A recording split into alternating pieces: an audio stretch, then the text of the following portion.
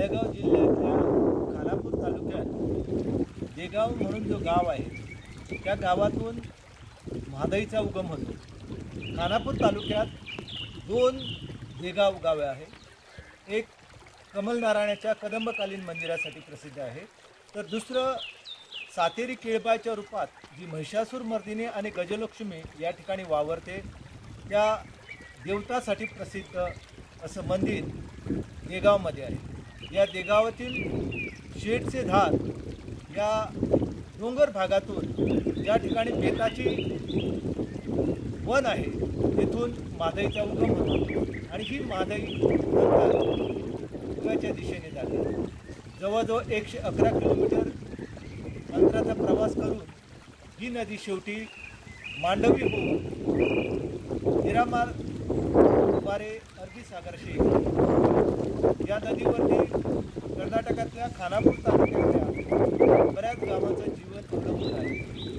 देगावरून ही नदी वळसा घेऊन गवाळी मार्गे कृष्णापूरला जाते आणि तिथून गोव्यात गडवळ गावात प्रवेश करते.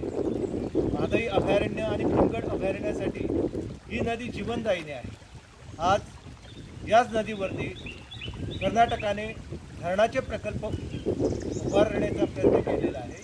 अशा प्रकारचे प्रस्ताव त्यांनी मांडलेले आहेत. आणि एकंदर हे धरण प्रकल्प जर उभे राहिले तर ही जीवनदायिनी नदी मरणप्राय यातना इथल्या जंगली श्वापांना देणार आहे. नदी निरंतर वाहत राहणे हा खरं तर मानवी समाजासाठी जंगली श्वापदासाठी महत्त्वाचा जीवन आधार आहे. आज जागतिक नदी संवर्धन दिवस आहे.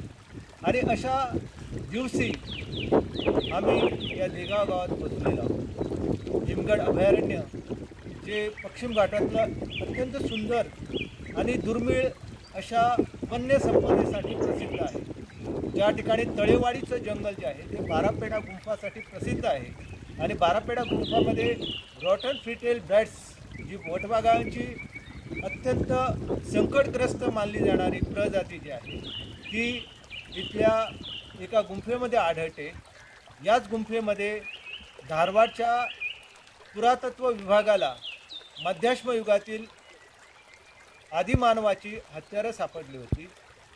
आणि आदिमानवाशी नाते सांगणारी ही जी नदी आहे ही नदी निरंतर वाहत राहणे म्हणजे इथल्या प्राणीमात्रांचं इथल्या मानवी समाजाचं जीवन समृद्ध होणं आणि याचसाठी आजच्या दिवशी आम्ही या गावात पोचलेलो आहोत.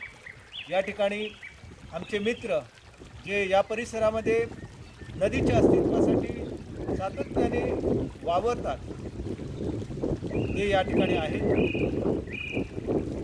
आणि गोव्यावरून आलेली मंडळी या नदीचं दर्शन घेऊन तृप्त झालेले आहे चेतन लकेबेलकर पत्रकार आणि आमची निसर्गप्रेमी मित्रमंडळी यांच्या